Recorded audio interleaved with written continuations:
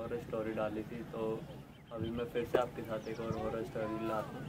तो इस वीडियो में मैं आपको बताऊँगा कि मेरे गाँव में एक घटना हुई थी और उस घटना में जो चीज़ें हुई थी मैं आपको सब बताता हूँ।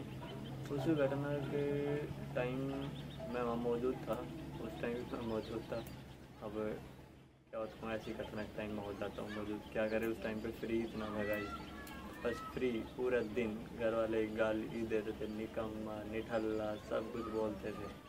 ऐसे, अभी तो खैर अपना जॉब कर रहे हैं, बस फ्री है, मस्त लाइफ है। तो कल ये स्टोरी है, आज से करीब चार पाँच साल पहले की है। तो मेरे पड़ोस में एक लड़की थी और वो आराम से अपना एक शादी में जा रखी थी, पड़ो, गाँव में। और वहाँ से आराम से अपना खाना खुना खा के आ रही है। मस्त अपना चिल करके आ रही है वहाँ से। वहाँ से आते टाइम पता नहीं क्या हुआ, क्या नहीं हुआ, मीठा वगैरह खा रखा था, रास्ते में जैसे ही रास्ता क्रॉस करके अपने घर पे आई, घर पे से भाई साहब लंबी, बेहोश। भाई घर वाले देख रहे लड़की को क्या हुआ क्या हुआ क्या हुआ। अचानक लड़की की आवाज़ वॉइस चेंज पूरी क्या छेड़ रहे हैं मुझे? ऐसा क्यों कर रहे हैं मेरे साथ? छोड़ो, ये, वो। अचानक पूरी वॉइस चेंज लड़के की आवाज़ ऐसी आ रही जैसे लड़का बोल। भाई साहब फट के चार सभी की। सभी ऐसे देख रहे हैं, क्या हुआ क्या हुआ क्या हुआ? सभी ऐसे देख रहे हैं। तो हम भी पहुँचे वहाँ पे, गाँव के कुछ और भी पहुँच रखे थे महानुभाव तो जैसे कोई बोल रहा है, इसको जुराब सुंगाओ कोई बोल रहा है, उसको जूते सुंगाओ ये करो, वो करो। उसको कुछ समझ में ही नहीं आ रहा क्या हो रहा क्या नहीं हो रहा। वो अपनी अलग ही दुनिया में चल रही है उस टाइम तो एक ने बोला कि इसके पैर पैर पकड़ो। एक ने बोला, इसके हाथ पकड़ो। तो मेरा एक भाई सही था उस टाइम पे, जाके जिम विम करता था, आराम से बॉडी थोड़ी बना के बस जाके पकड़े पैर ऐसे। और भाई साहब, जैसे इसने पैर पकड़े और लड़कियाँ मारी ऐसे पैर लगते सीधा बीस फुट दूर। मेरी खुद आँख सामने, सीधा बीस फुट दूर। बीस फुट दूर जाते भाई साहब। लड़का अलग ही दुनिया में। वो देख रहा क्या हुआ, क्या? ऐसे देख रहा हूँ मैं? ऐसे देख रहा अचानक मतलब गायब, हवा ही टाइट भाई पूरी। अब दूसरा पकड़ रहा है उसको। उसको उसको तो खैर पैर वगैरह नहीं मारा, उसने जैसे पकड़ा तो वो जो लेडी थी जो बोल रही थी कि इसके हाथ पैर पकड़ो, उसने पता नहीं क्या किया, वो उंगली वगैरह उसकी मरोड़ी या क्या कुछ किया, वो बताने लग गई, भाई साहब, मैं ये हूँ, मैं वहाँ से हूँ, मैं ये हूँ, वो ज़्यादा कुछ नहीं हुआ, फिर से बेहोश। अभी और भाई साहब, जिस लड़के को लात लगी थी ना मेरा भाई जो, उसको एक महीने तक बुखार रहा था, एक महीने तक। मैं उस चीज़ का साक्षी हूँ भाई साक्षी हूँ मैं उस चीज़ का। मैंने खुद देखा था, एक महीने तक उसकी जब बुरी हालत रही थी ना, बस बता नहीं सकते। बहुत, पूरा शरीर ऐसे थकता था उसका पूरा। तो उसके बाद फिर उस लड़की को एक आगे कोई गाँव है, यहाँ से कोई तीस चालीस किलोमीटर, वहाँ पे लेके गए। वहाँ पे उसने वो जो मंदिर में पंडित था, उसने पता नहीं क्या कुछ किया वो अपना चाबुक या सेंटिस टाइप का कुछ ले रहा था जैसे उसको मारा दो तीन? वो भाई साहब, लड़की दूसरी उसमें। क्या है? क्यों क्यों मार रहे हो मुझे? छोड़ो छोड़ो। मुझे वहाँ जाना है, मुझे वो करना है।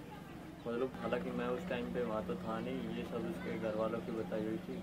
तो और उसके बाद जो वो मंदिर में वो पंडित था, जो भी था, वो उसको जैसे मार रहा है ना, वो उसे जैसे मार रहा है उस लड़की की, फिर अलग ही आवाज़ निकल रही है मतलब अलग ही बोल रहे हैं वो। वो उससे पूछ रहा है, कौन है तू? तो जवाब दे रहा है कि मैं वहाँ वो हूँ। नाम बता रहा है अपना पूरा। डिटेल दे रहा मैं पूरा बायोडाटा भाई साहब बताता हूँ उसको कि मैं ये हूँ, अच्छे से हूँ।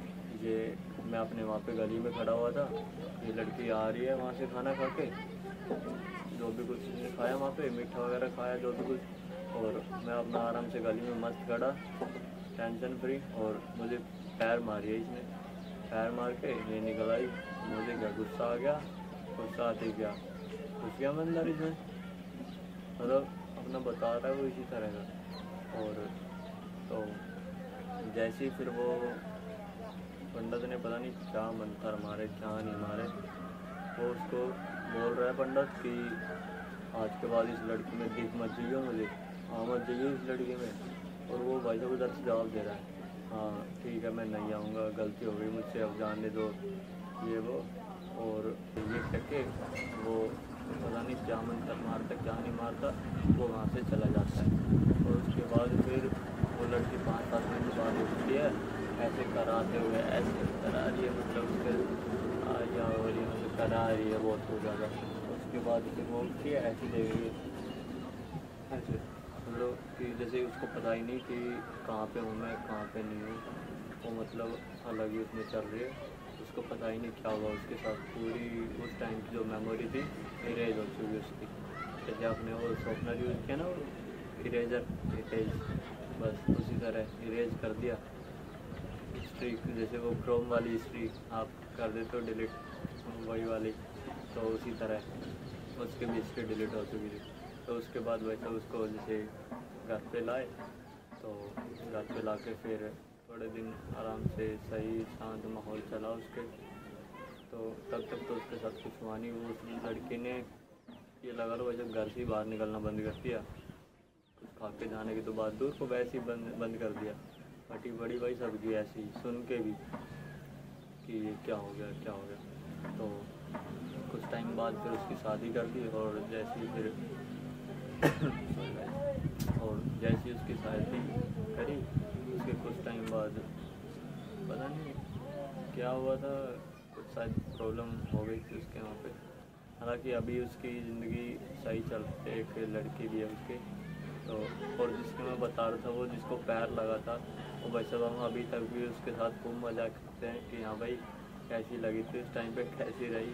और वो भी बहुत बताता है कि भाई, कई बार तो ऐसे सपने में भी आ जाती है वो चीज़ इतनी, ऐसी चीज़ की साथ उसका एक मिनट भाई, ताप नहीं वगैरह उतरा ही नहीं बिल्कुल भी ताप। शरीर गर्म बलता था पूरा बुखार। सब कुछ कर लिया, दिखा लिया डॉक्टर को, बुखार नहीं जा रहा इसका मतलब। ऐसे ही अलग ही चलता इसका। तो ऐसी ऐसी घटनाएँ हुई है। तो गाइस बताइए, कैसी लगी ये दो इंसिडेंस हुआ था कैसा लगा आपको? कुछ आपके साथ कुछ हुआ तो बताएँ, मुझे शेयर करें, मैं यूट्यूब पे शेयर करूँगा। तो मिलते हैं आपको अगले ब्लॉग में तो वीडियो को लाइक करें शेयर करें एंड चैनल को सब्सक्राइब करें। Guys keep supporting please